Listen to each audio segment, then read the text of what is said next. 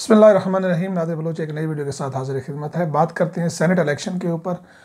صبح Saint election ہے اور اس حوالے سے جو اس وقت میڈیا میں ہائپ کریٹ ہو چکی ہے، جس سے پتہ چلتا ہے کہ یہ ایک پانی پت کی لڑائی شروع ہو گئی ہے۔ حکومت یوسف رضا گیلانی کو ہرانے میں کامیاب ہوتی ہے یا نہیں؟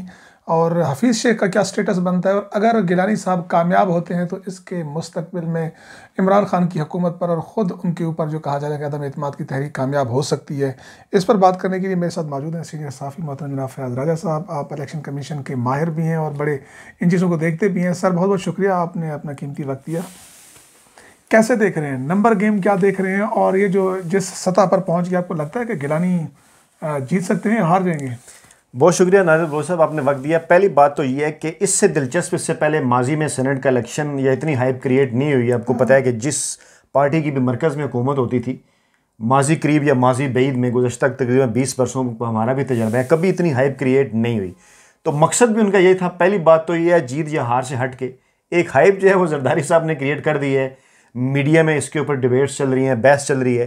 پی ٹی آئی بھی جو ہے وہ آپ کو دیکھیں کتنی کانشیس نظر آ رہی ہے اس نشست کے حوالے سے۔ اور یوں لگ رہا ہے پنجاب میں تو فیصلہ ہو ہی گیا۔ خیر باقی سندھ کے پی کے اور بلوچستان میں بھی مطلب کم و بیش اسی قسم سے آئے گا۔ وہ جو تناسب ہے کوئی زیادہ لمبا چوڑا اس دفعہ کیونکہ ہائپ اتنا کریٹ ہوا سپریم کورٹ کا فیصلہ پھر ویڈیوز آئیں پھر باقی ساری چیزیں کہ مشکل ہے کہ کوئی اس طرف سے کوئی ایسی چیز ہو۔ لیکن بہرحال اسلام آباد کے اوپر جو ہے وہ لوگوں کا فوکس ہے۔ اور نمبر گیم میں بے شک جو ہے وہ حفیظ شیخ بلا شعبہ جو آگے ہیں، تادی بھی ان کے حوالے سے بات کر چکے ہیں۔ لیکن میں وہی بات کروں گا کہ ہائپ کیونکہ کریٹ کرنی تھی؟ یوسف زا گلانی کے حوالے سے آصف زرداری نے اور پی ڈی ایم کو بھی بلکہ یہ کہا جائے کہ پی ڈی ایم کیا بلکہ پورا اس وقت جو سیاسی سنیریو ہے اس کو پیپلز پارٹی نے اپنے اس ڈسیجن کے بعد جو ہے وہ ایک قسم سے ایک قسم سے انہوں نے ہائی جیک کر لیا۔ اب دیکھیں کسی کے ذہن میں یہ نہیں تھا کہ یہاں کون امیدوار آئے گا، کیسے آئے گا۔ باقاعدہ انہوں نے پلان کیا، اس کے اوپر لوگوں نے آرٹیکلز لکھے، ٹی وی پروگرامز وغیرہ ہوئے۔ یہ ان کا مقصد تھا اور جدید اس دور میں میڈیا میں یوٹیوب کے اوپر سوشل میڈیا کے اوپر یہی جو ہے وہ آپ کی اسٹریٹجی چلتی ہے اور انہوں نے دیکھیں کس طرح سے پی ٹی آئی کو بھی پرو ایکٹیو کر دیا۔ حالانکہ ماضی میں اور ابھی بھی ابھی ابھی بھی دونوں کے درمیان جو ہے وہ اگر نمبر گیم کی بات کریں تو ون ففٹی نائن اور ون معاف کیجیے گا ون ففٹی سیون اور ون سیونٹی نائن یعنی بائیس ووٹوں کا فرق ہے۔ اگر جماعت اسلامی اور آزاد امیدواروں کو نکالیں تو وہ اب کس طرف جاتے ہیں یا تادی کا کہتے ہیں؟ وہ کچھ وہ جو جو ہے اس حوالے سے بھی جی ڈی اے کی بھی بیان آ گیا ہے۔ ایم کے ایم نے بھی بات کر دی ہے اور باپ بھی کہہ رہا ہے، ان سب نے یہ کہہ دیا کہ ہم ووٹ حفیظ شیخ کو دیں گے۔ تو اس اس طرح سے نمبر گیم میں تو حفیظ شیخ یقینی طور پہ آگے ہیں، لیکن ہائی پیک جو کریٹ کرنی تھی وہ انہوں نے کر دی اور جو فوکس ہے وہ انہی کے اوپر ہے جی کہ وہ گیارہ بارہ ارکان اگر توڑتے ہیں، تو اس کے بعد ہی جو ہے وہ یہ کامیابی انہیں ملے گی۔ لیکن خاص طور پہ اب جب یہ ویڈیو ایک سامنے آئی ہے اور ویڈیو میں ووٹ ضائع کرنے کا ایک طریقہ جو بتایا جا رہا ہے، اس کے اوپر اب لوگ بڑی بحث اور ڈبیٹ کر رہے ہیں۔ یہ ایک نئی چیز ہے، کیونکہ یہ بات بڑی ٹیکنیکل ہے۔ لوگ شاید یہ سمجھ رہے ہیں کہ ایک سو اکہتر ووٹ ہی لینے ہوں گے جس نے بھی جیتنا ہے۔ ایسا نہیں ہے، جتنے ووٹ ڈلیں گے یا ہاؤس میں جتنے لوگ موجود ہیں، ان میں سے جن کے ووٹ کاؤنٹ ہوں گے، ہو سکتا ہے ہاؤس میں سارے ہی موجود ہوں۔ لیکن ماضی میں بھی ہوتا رہا ہے ووٹ ووٹ کیونکہ ٹیکنیکل ہوتا ہے تھوڑا سا یہاں پہ دو لوگوں کو ڈالنا ہے۔ بعض لوگ دونوں پہ ٹک کر دیتے ہیں بعض لوگ ضائع بھی کر دیتے ہیں۔ ٹھیک ہے کاؤنٹنگ میں نہیں آتے۔ تو جتنے ووٹ ڈلیں گے اس میں سے ایکسریتی ووٹ جو لے گا وہ جیت جائے گا۔ مطلب فار ایگزامپل اگر تین سو تیس ووٹ کاؤنٹ ہوتے ہیں گنتی میں آتے ہیں ڈلتے تین سو چالیس ہیں باقی ضائع ہو جاتے ہیں۔ تین سو ضائع فرض کیجیے مطلب مثال دینے کے لیے کہہ رہا ہوں تو ایک سو جو ہے وہ ایک سو چھیاسٹھ ووٹ جو لے گا وہ جیت جائے گا۔ یعنی ایک سو اکہتر کا فگر نہیں ہے۔ تو بہرحال اس کے باوجود جو ہے وہ لوگ تو توڑنے پڑیں گے، جو ہے وہ پی ڈی ایم کو اگر وہ توڑیں گے، یا یا پھر لوگ ووٹ اپنے ضائع کر دیں۔ اب دیکھیں نا، ایک سو جس طرح ضائع کرنے کی ویڈیو آئی ہے، اب ایک سو اکہتر ایک سو نواسی ووٹ ہیں ان کے پاس۔ اگر اس میں سے کوئی دس پندرہ ووٹ اگر ضائع ہو جاتے ہیں، تو پھر گیلانی صاحب کی گیم بن سکتی ہے۔ ابھی الیکشن کمیشن کا نوٹس لینا کیا اثر انداز ہوگا کل کے دن کے اوپر؟ دیکھیے جی فوری طور پہ تو اس کا فرق نہیں پڑے گا۔ آپ دیکھیں، سپریم کورٹ کا فیصلہ ہے، اس کے اوپر بھی الیکشن کمیشن نے کہا کہ ابھی تمہارے پاس وقت نہیں ہے۔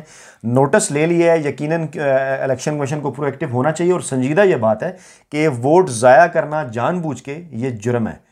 اور آئین کے کے تحت ان کے خلاف جو ہے وہ کارروائی بھی ہو سکتی ہے، الیکشن ایکٹ کے تحت کارروائی ہو سکتی ہے۔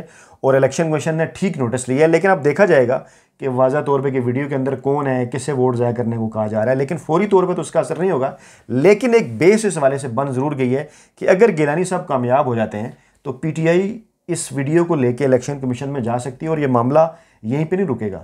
اگر یہ ویڈیو پروو ہو جاتی ہے کہ واقعی ان کا بیٹا تھا اور وہ لوگوں کو یہ بتا رہا ہے میں نے نہیں وہ اعتراف کر لیا اس نے۔ اگر اعتراف انہوں نے کر لیا ہاں، بالکل میرے پاس ہاں۔ وہ اس نے اعتراف کر لیا کہ ویڈیو میری ہے اور میں لوگوں کو قائل کروں میرا آئینی حق میرا میرا آئینی حق ہے تو بالکل اس کے اوپر الیکشن کمیشن یقیناً ایکشن لے سکتا ہے۔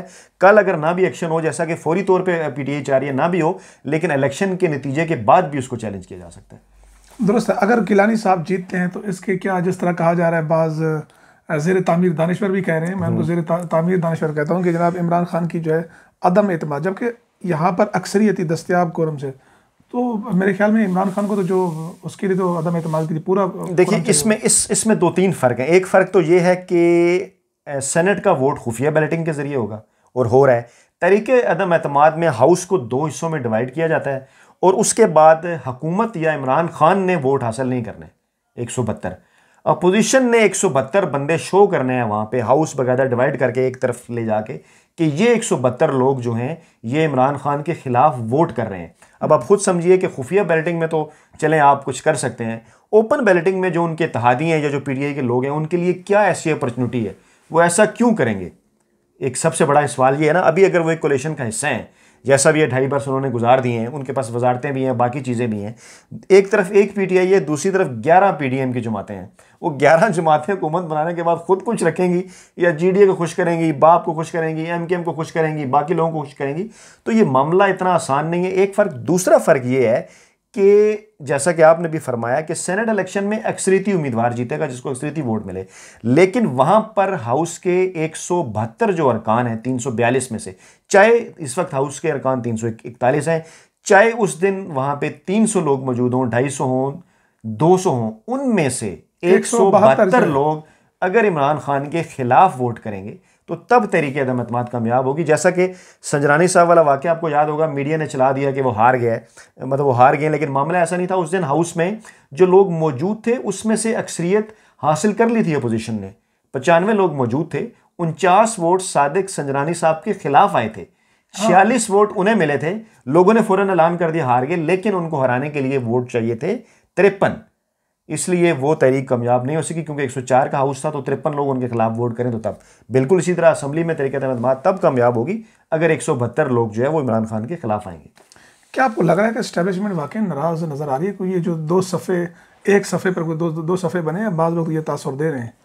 دیکھیے جی بات یہ ہے کہ اسٹیبلشمنٹ چاہے غیر جانبدار ہے یا نہیں ہے لیکن ایک بات کے اوپر پہلے دن سے جو ہماری آبزرویشن یا ریڈنگ ہے وہ یہ ہے چاہے وہ اسٹیبلشمنٹ ہو چاہے پاکستان کی اعلیٰ عدالتیں ہوں۔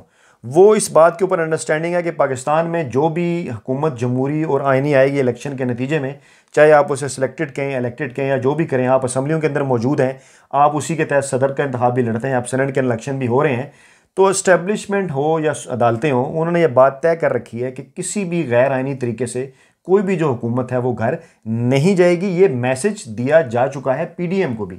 اور یہ میسج پیپلز پارٹی کے ذریعے ہی دیا گیا تھا، اسی لیے پیپلز پارٹی نے پی ڈی ایم کو یہ بات سمجھائی اور اس کے بعد انہیں آئینی آپشن یعنی طریقہ اعتماد کی طرف لے کے آئی۔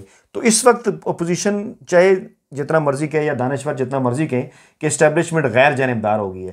دیکھیں غیر جانبدار ہونے کا مقصد کیا ہے پاکستان جیسے ملک میں؟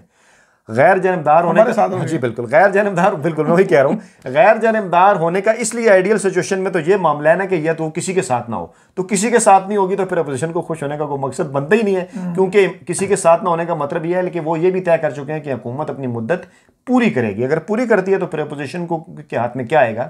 ماضی میں ہمیشہ یہ ہوتا رہا ہے کہ اپوزیشن خلاف ہو جائے اگر حکومت معاف کیجیے اسٹیبلشمنٹ خلاف اگر حکومت کی ہو جائے اس کے بعد ہی کوئی گیم ڈلا کرتی ہے۔ وہ صورتحال نہیں آئی۔ خلاف ہونا علیحدہ بات ہے، غیر جانبدار ہونا علیحدہ بات اچھا ایک آخری سوال۔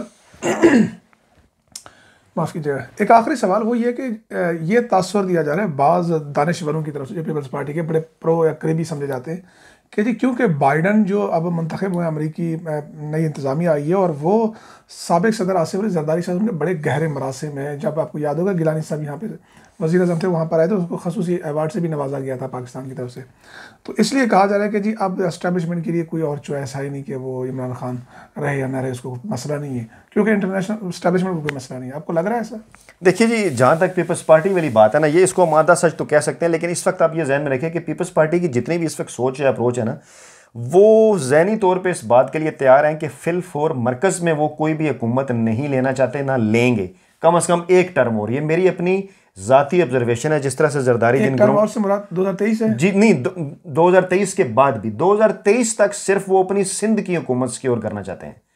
ابھی بھی ان کا کوئی پلان نہیں ہے۔ اسی لیے یہی معاملہ جو کیونکہ جب نواز شریف اس معاملے کے اوپر سوچتے ہیں تو انہیں یہی لگتا ہے کہ بلاول تو انتظار کر سکتا ہے زرداری بھی انتظار کر سکتے ہیں لیکن وہ کسی طریقے سے مریم کو دو ہزار تیئیس میں حصہ بنانا چاہتے ہیں۔ یہی وہ اختلافات ہیں۔ آپ بالکل دیکھ سکتے ہیں، مجھے اپنے اس جو ہے وہ تجزیے کے اوپر پورا یقین ہے کہ دو ہزار تیئیس کے الیکشن کے دوران بھی زرداری صاحب کی یہ کوشش ہوگی کہ سندھ جو ہے ان کے ہاتھ سے نہ نکلے۔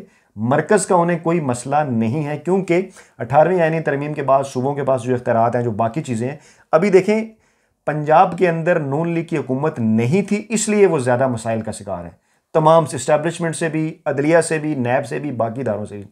پیپلز پارٹی ان تمام کے ساتھ مسائل کا شکار ہوتے ہوئے بھی ان کے پاس کیونکہ سندھ کی گورنمنٹ ہے۔ جب آپ گورنمنٹ کے اندر ہوتے ہیں تو بے شمار سہولیات آپ کو حاصل ہوتی ہیں۔ ایک چھوٹی سی سہولت یہی سمجھ لیں کہ آپ کم از کم اپنے صوبے کی جیل میں قید ہیں تو آپ اچھے طریقے سے قید رہ سکتے ہیں۔ ہاں۔ صوبے کے کسی ہاسپٹل میں جاتے ہیں۔ بالکل اچھے تو یہ ساری چیزیں زرداری صاحب کو میں اسی اسی لیے میاں نواز شریف صاحب کی نسبت جو ہے وہ بہتر سیاستدان سمجھتا ہوں اور پیپلز پارٹی کو بھی کہ وہ اپنے کارڈس سینے کے ساتھ لگا کے کھیلتے ہیں اور بڑی کامیابی سے ابھی تک وہ کھیل رہے ہیں۔ وہ ابھی بھی اسی کوشش میں ہیں۔ کیونکہ ابھی دیکھیے آج جو کچھ سندھ اسمبلی میں ہوا یا اس سے پہلے بھی، ان کی صرف یہ کوشش اور ایک اور اس میں امپارٹنٹ پوائنٹ ہے۔ کے پی کے اندر اور پنجاب کے اندر جو بھی ضمنی الیکشن ہوئے ہیں پی ٹی آئی ہارے یا جیتے، دونوں میں اس کا ووٹ بینک بڑا ہے۔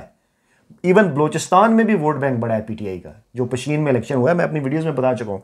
سندھ وہ وائس صوبہ ہے، جہاں کراچی والے بھی پی ٹی آئی سے ناراض ہیں اور سندھ سے جہاں جہاں پی ٹی آئی جیتی تھی، لوگ ناراض ہیں۔ آپ دیکھیں، آپ کو نظر آ رہا ہے۔ تو اس لیے جو پی ٹی آئی کی کوشش تھی اور جو کچھ لوگ کہہ رہے تھے کہ دو ہزار تیئیس میں میں خود یہ سمجھتا تھا کہ دو ہزار تیئیس میں کئی علاقوں میں اندرون سندھ پی ٹی آئی ٹکرائے گی پیپلز پارٹی سے۔ اس کے ووٹ بینک دو ہزار تیرہ کی نسبت بڑے تھے۔ لیکن ابھی جو ضمنی الیکشن ہوئے ہیں، وہ بڑے الارمنگ ہیں۔ لوگوں نے پیپلز پارٹی کو زیادہ ووٹ کیے پی ٹی آئی کی نسبت۔ تو یہ چیز زرداری صاحب بھی دیکھ رہے ہیں پیپلز پارٹی بھی۔ وہ دوبارہ سے سندھ کو سکیور کرنے کی کوشش کریں گے۔